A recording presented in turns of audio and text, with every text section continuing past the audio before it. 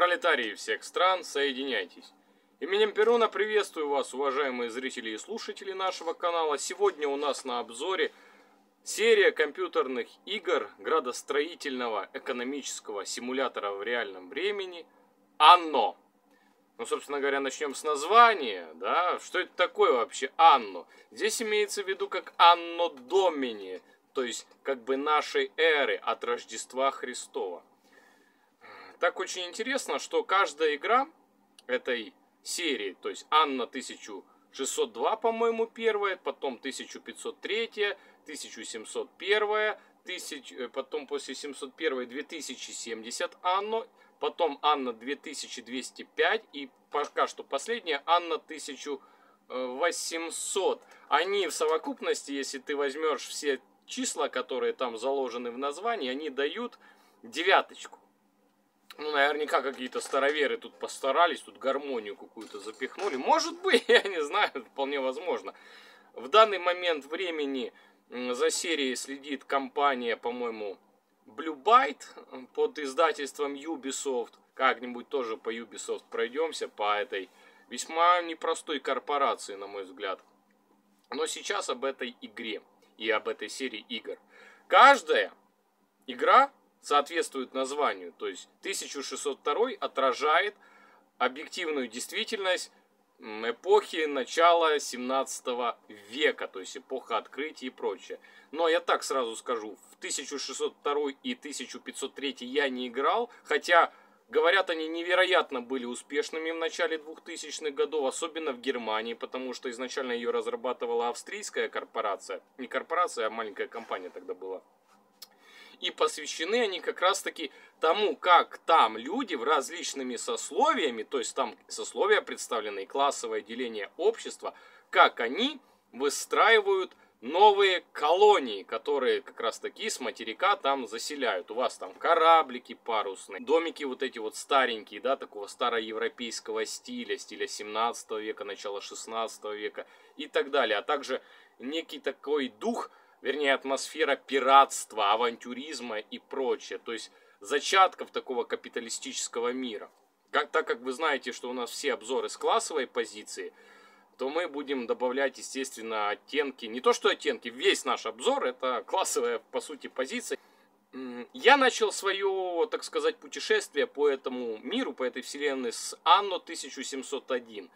Там якобы образ королевского вот этого флота Британии и исследование новых горизонтов под покровительством Ее Величества.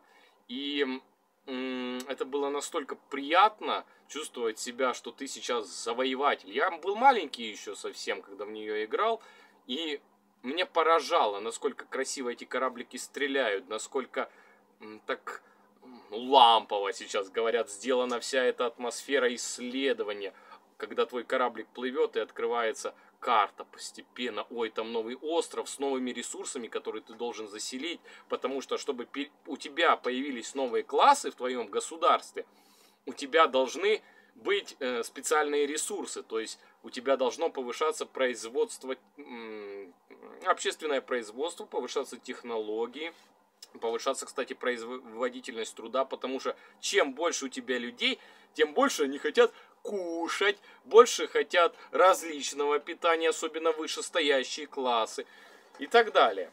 Поэтому это было там отображено очень хорошо и классно. То есть вот это еще 2000-е годы, они еще не так сильно стараются отразить нашу объективную действительность современного капитализма. Они больше еще про тот, про начало 18 века, и оно, кстати, тоже так ложилось на серию пиратских этих фильмов «Пираты Карибского моря». И в целом я очень люблю эти авантюрные романы, типа Висенте Рива Паласио, «Пираты Мексиканского залива», э, Сабатини Рафаэль, конечно же, Одиссея Капитана Блада. Ну, потом есть там Удача Капитана Блада, Хроники Капитана Блада. Но, скажем так, они э, чисто творчески они уступают оригинальной главной серии. Ну, как продолжение они выступали, чтобы поиметь, так сказать, дополнительный профит. Ну, а почему нет? Люди тогда это все любили. Хорошо, что он потом дальше не это все не расписывал, потому что Одиссея муа, написана Капитана Блада великолепно. Хотя и сама Одиссея с тем же Одиссеем тоже написана великолепно.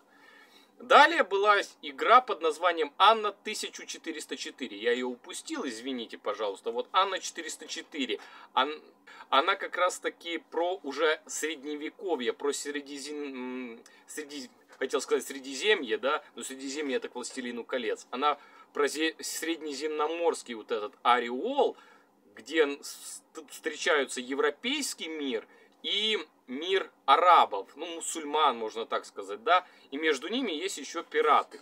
И ты колонизируешь э, теперь не только острова как бы европейского типа, и ты строишь не только европейские города, но ты еще и вынужден строить города, ну, скажем, арабского типа, восточного типа, чтобы завозить оттуда разные пряности, технологии, получать дополнительные задания, создавать торговые маршруты и прочее показано очень хорошо. И тоже это 1404 год, это уже вот начинает пахнуть этими мануфактурами, уже, уже капитализм рядом. Кстати, очень интересно там боевая система. Если в первой Анна, ой, извините, не в первой, а в 1701 Анна как-то больше на парусные бои завязана, да, то вот в 1404 там можно было уже войска твои десантировать и сражаться на суше.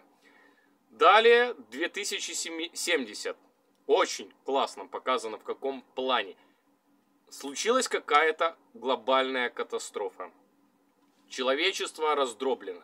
И люди начинают заселять новые острова. И в итоге у вас есть три различных, так сказать, типа построения общества.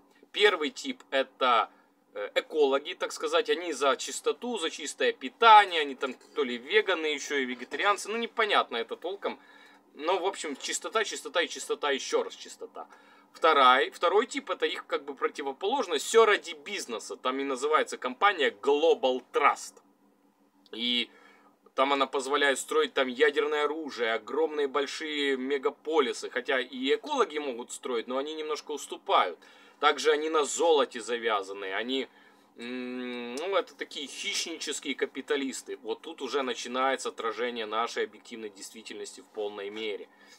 Потому что если предыдущие игры еще так, вот они действительно про начало там только ранние какие-то поступи капитализма, еще средневековье, еще авантюризм, еще там тот же 1701 абсолютизм где-то присутствует, то 2070 это уже современность, только под видом будущего, что наша современность обосралась. Ну, я сказал бы так, что из-за громадного количества мусора случился глобальный катаклизм, и людям теперь приходится вот, исследовать подводное океанское дно и добывать оттуда, кстати, энергию, потому что в 2070-м у вас уже появляется электричество, и под него как раз-таки завязана ваша производство ваше в первую очередь. Если предыдущие эпохи, они еще были завязаны в первую очередь под трудящегося, крестьянина, 1701 немножко под люмпина пролетария, ну 1404 он суто под крестьянством завязан, он как бы главное звено построения твоей экономики, то есть домохозяйство. Экономика это домохозяйство то здесь у нас возникает уже момент с электричеством и с энергией. И чтобы как раз таки исследовать океанское дно, вам нужен третий тип эм, построения общества, это ученые. Ученые, скажем так, они не являются как бы такой противоположностью э, экологам и этим самым капиталистам, глобал трастовцам, да, они некое такое промежуточное состояние, что они не, ну, им ни туда, ни сюда, им как бы, знаете, им дайте бабки, мы будем все исследовать, что вы хотите.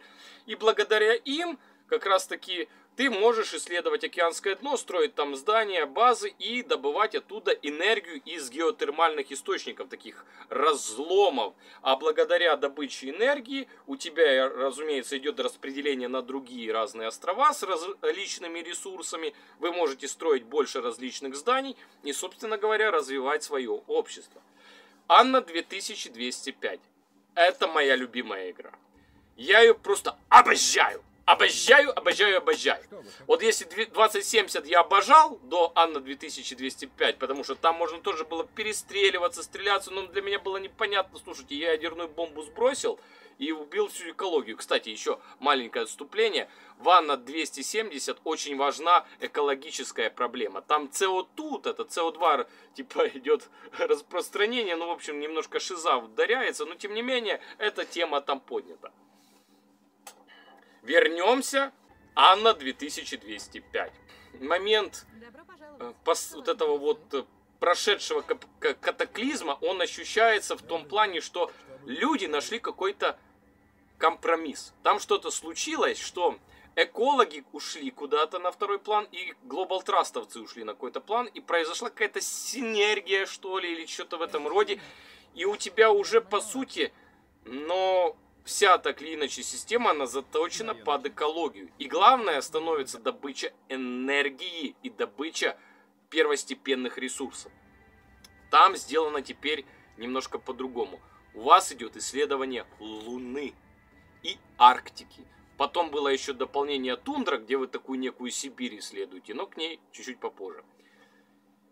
И твоя главная задача строить вот этот мегаполисы разные, насыщивать их энергией. У тебя уже, кстати, в отличие от предыдущих игр, у тебя нету конкурентов, которые прямо представлены на карте, а раньше они там были, то есть пираты, мусульмане, как в 1404, 1404, как же Ванна 2070, если ты выбираешь как бы одну сторону, ну ты все равно встретишься с какими-то компьютерными игроками, с которыми ты дерешься.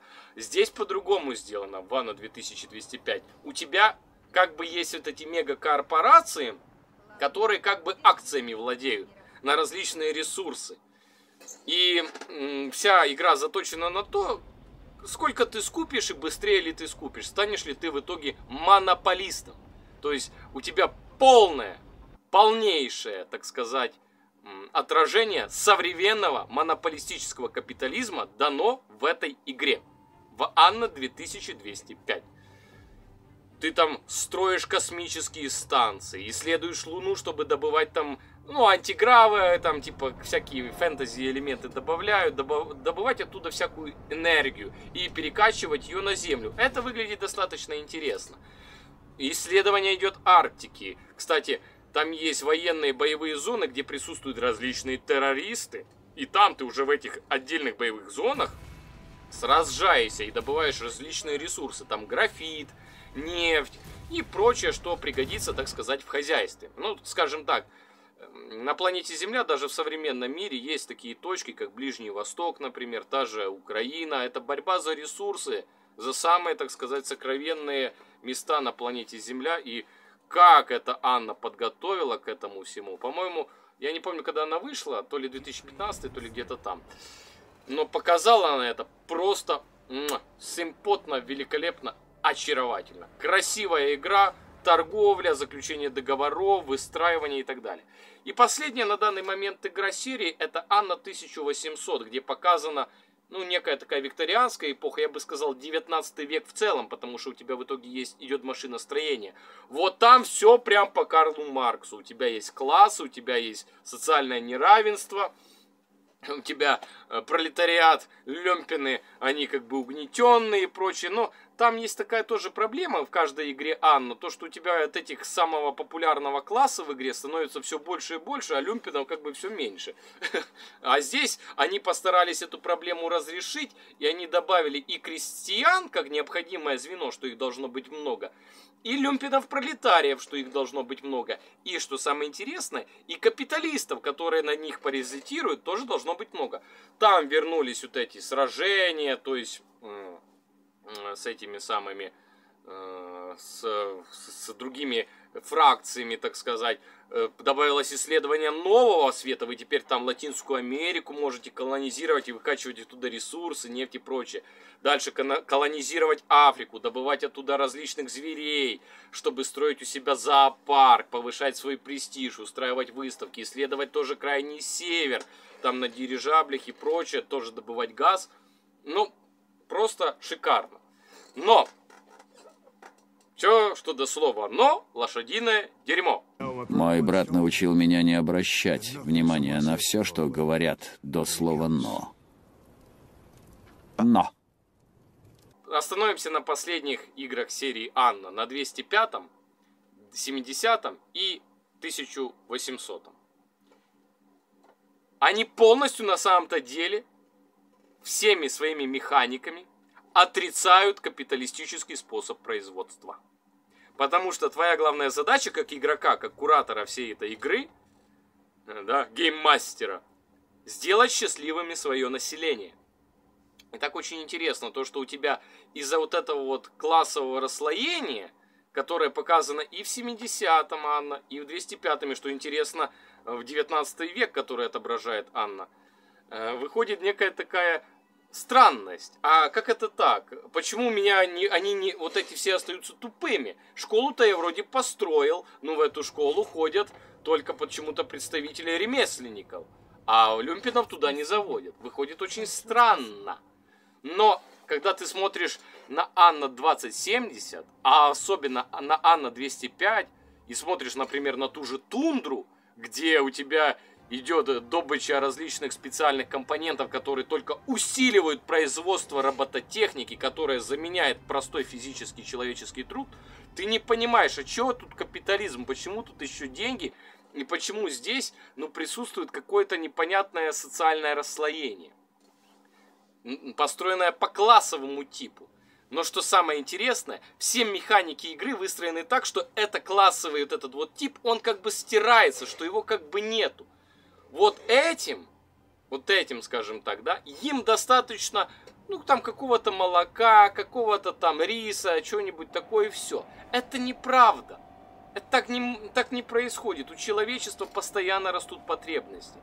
При капитализме, да, эти потребности навязываются. И при капитализме чаще всего выходит так, что все, ты люмпен пролетарий, тебе там 40 лет, 50 лет, забудь, не надо думать о том, чтобы покушать хорошую пищу. Такое часто мы встречаем. А на деле эта игра это начинает отрицать. Потому что мне хочется везде повысить, сделать супер дома, всем дать все. Это моя главная цель в игре. Не просто сделать красиво город, но дать всем возможность наслаждаться жизнью. Да, это виртуальные персонажи, и это показаны они в виде так называемых иконок и полосок, как э, можно бы сказать, что это некая такая симуляция вордовского Excel вместе с госпланом. Но вордовский Excel и симуляция госплана как-нибудь Виктория 3 мы разобрем, разберем эту игру. Это попозже.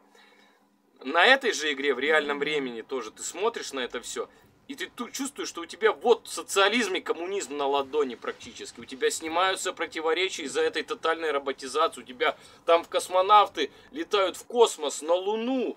Боже мой, там скоро на Марс. Я, конечно, надеюсь, что разработчики сделают для нас следующую игру серии. Дай бог, дай бог, да, дай э, Аполлон, э, Зевс, Марс, Юпитер, э, Хари Кришна что мы доживем до новой серии Анну, и надеюсь, она будет как раз-таки про будущее еще там, про то, что случится после того, как мы колонизируем Луну в 2000, Анна, в Анна 2205.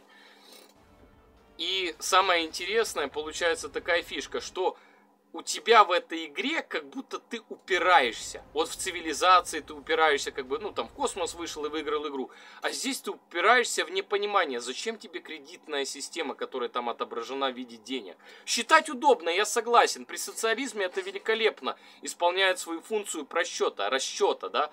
Но когда у тебя уже коммунистическое общество, которое в сути своей показано в финале Анна 2205, когда у тебя главное, ты делаешь синтетиков, то есть роботы начинают заменять даже, по-моему, там часть умственного труда. Но они же синтетические все равно, это роботы. Они никогда не выйдут на рынок труда, у них нет сознания, никогда ты его туда не запихнешь.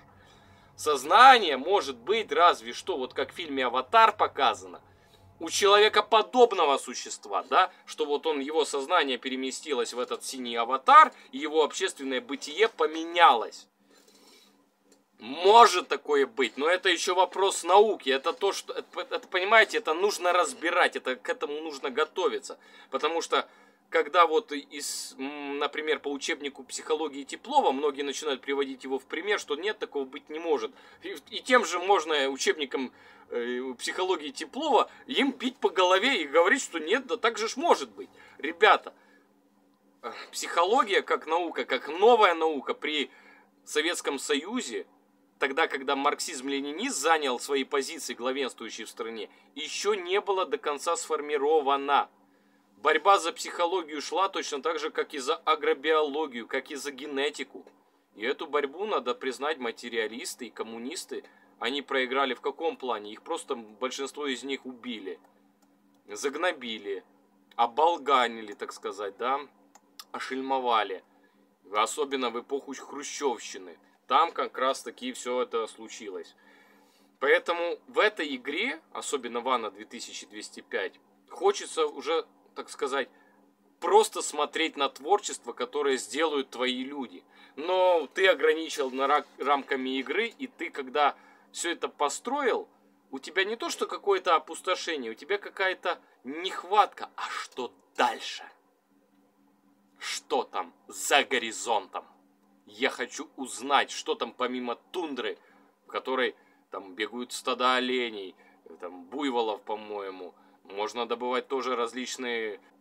Я хочу знать. Но! Я очень надеюсь, хотя это надежда мнимая, но так или иначе, объективная наша действительность, она все равно толкнет разработчиков, ну, двигаться в сторону социализма, как-никак сколько бы они туда капитализм бы не запихивали и нашу объективную действительность, у них все равно игры получаются про планирование, улучшение жизни людей, масс, как можно меньших убийств, как можно большего созидания, творения.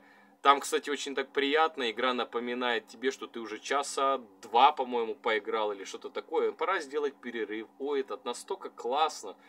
И ты, ты не можешь оторваться. Ты хочешь дать людям счастье. Ты хочешь, чтобы они строили своими руками это счастье, чтобы они летали на этих прекрасных машинах. Я считаю, что надо... Вот какая моя идеальная игра? Вот будем подводить итог. Какая моя идеальная игра про Анну, если бы делал ее я? Во-первых, я бы построил ее вокруг эм, полностью вокруг. Главная цель – это повышение счастья всех и каждого и стирание вот этих слоев. То есть, чтобы где показано рабочий там э, и, и прочее, оно как бы делал, вернее, не слоев, а классов, чтобы вот эти вот рабочие, они были с, с, послоево разделены, и каждый слой мог вот так как бы по кругу, по контуру такому перетекать в другой, да, то есть все мы как труженики начинаем обязательно с этого старт игры – Потом идет вот этот контур, да, там, интеллигенция, ученые, творчество, созидатели, инженеры, военные, да, мы защищаем от какой-то внешней угрозы, может, какого-то внешнего вторжения, либо, например, полую землю придумать. Почему нет? Это тоже весьма интересная теория, ну, гипотеза, гипотеза, конечно же, которая могла бы тоже, там, что-то, какие-то, может, большие, вот как про Кинг-Конга, там, Годзиллу, Местами очень смешно и глупо, но сама суть гипотеза, то, что могут там какие-то монстры большие жить. А почему нет? Вполне возможно. Ну сколько ж они срут, да ё-моё. Ладно. вот воины и вот этот вот контур идет, такой жрецы, да, и он как бы замыкается, и снова вот тут тоже у нас труженики и так далее, да. И как бы такое было понятие, что каждый из этого слоя, он мог бы менять свою социальную функцию с ускоренными темпами. То есть главная в итоге задача высвободить свободное время всех твоих подопечных твоей игре, чтобы вот этот плазунок зеленый, как бы свободное время, он заполонялся разными творческими активностями, да, и чем более зеленый этот плазунок, чем он тут доходит до 100, он потом желтым таким начинает светиться, значит у вас начинается золотая какая-то эпоха, фестивали по всему городу, э, различные соревнования спортивные, олимпиады, наслаждения, танцы, оперные выстав... балеты, путешествия там по, по космическим каким-то станциям, путешествия на другие планеты. И как бы вот такой момент, встреча людей, других с других планет. Я бы очень хотел увидеть, что, боже, там тоже люди есть такие же, как и мы. И мы с ними начинаем, ну, не то чтобы торговать, а производить обмен – и тоже есть другие, например, какие-то нечеловекоподобные, высокоразвитые, ну, существа, да, которые тоже имеют свои скажем так, ну, культуры, можно сказать условно цивилизации, да, допустим. И с ними как раз таки взаимообмен. И они нам дают тоже какие-то ресурсы, благодаря которым мы повышаем творческое состояние нашего всего народа, всех наших так сказать, персонажей, которые, ну, массами меряем, не одного какого-то, да, у нас там есть роботы, синтетики и прочее, различные сферы искусства. У нас начинается эпоха человечества.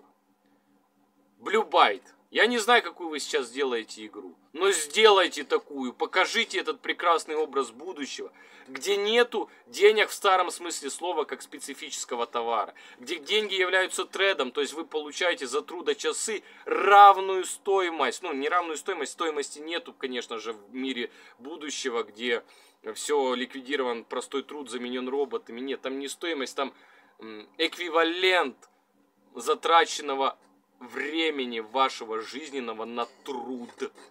Управление роботов, починки этих роботов, созданию новых роботов, охраны рубежей, ваянию там чего-нибудь нового в госп... ну не в госплане, а в творческом плане, в этой громадной ассоциации трудящихся масс.